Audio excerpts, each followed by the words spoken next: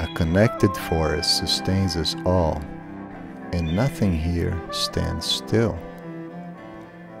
Everything moves at its own pace on pathways of its own, on hooves and paws and wings and also wheels.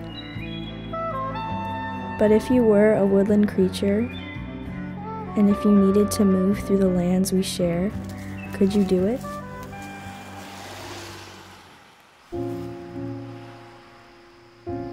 If you had to cross these busy roads and highways, to breed, to feed, to respond to the threat of climate change, could you?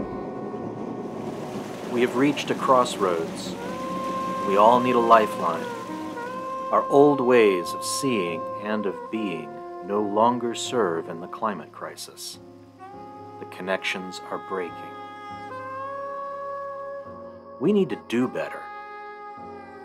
To act now, together, to protect and reconnect our forests for all our sakes.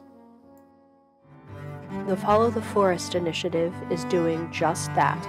From the Hudson Highlands to Canada, we and our partners are finding and fixing the places between the forests where wildlife and water need to move.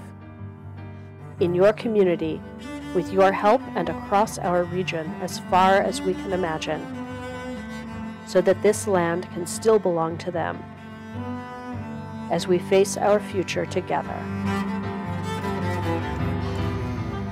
Everything in the forest is connected, not by roads and wires, but the web of life.